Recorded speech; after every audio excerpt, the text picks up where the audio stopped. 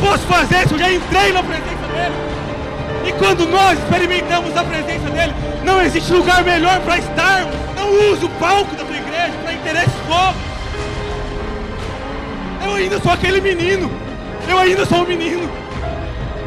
Eu sou ainda um menino quando eu vi a profecia de Deus falando: Eu, Senhor, sopro o nome pelos quatro cantos da terra. Quem sopra o teu nome é Deus. É Deus. Deus sopra o nosso nome. Não é um homem que sopra. A presença do Eterno está aqui.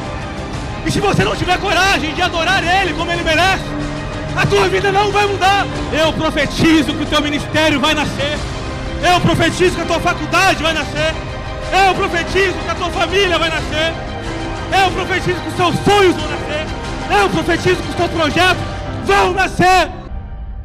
Organização Internacional de Missões Aviva